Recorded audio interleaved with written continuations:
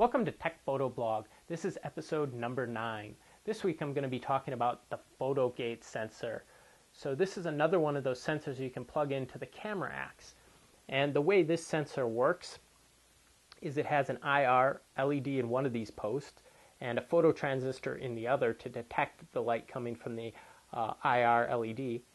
And when nothing's between these two posts, there's a high signal sent back to the camera axe, and when something's between these two posts, then a low signal is sent back to the camera axe. So there's a lot of different uses for this kind of a, a sensor, like droplets, um, projectile photography, and a bunch of other things. And it is true that I have uh, specialized sensors for a lot of those things, but this sensor is just a lot smaller, more durable, uh, and a lot less inexpensive than those more specialized sensors. So a lot of people go with this sensor instead. So this is a great sensor to have around. So now I'll demonstrate setting up the camera axe to use the PhotoGate sensor. The first thing I'll do is plug in the flash into camera flash port number one. This could be a camera, but generally you use flashes for high-speed photography and then I'll plug in the PhotoGate sensor into sensor port number one. Now I'm just holding down activate while turning on the camera axe to reset it to defaults.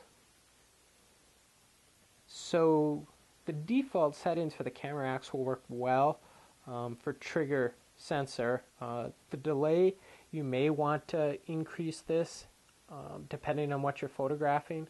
Uh, this is just a number you got to play around with until you get it to the right value. Uh, the bulb, you don't need to change that for this sensor.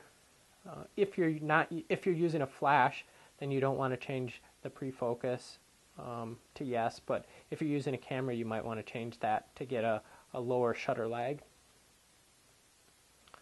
The trigger type, um, so, and then the trigger value you can see that second value there, that 999, that's the current value. And if I block the uh, photo gate, it drops down to 23.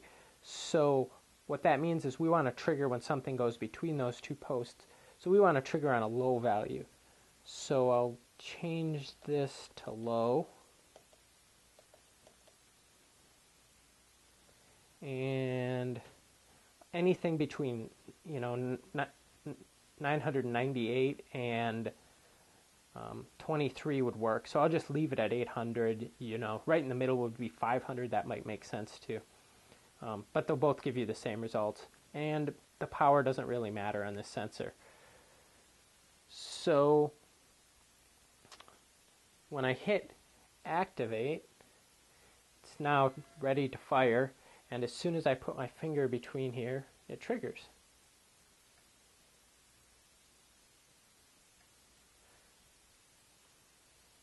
That's pretty much it for this sensor. Thanks for watching.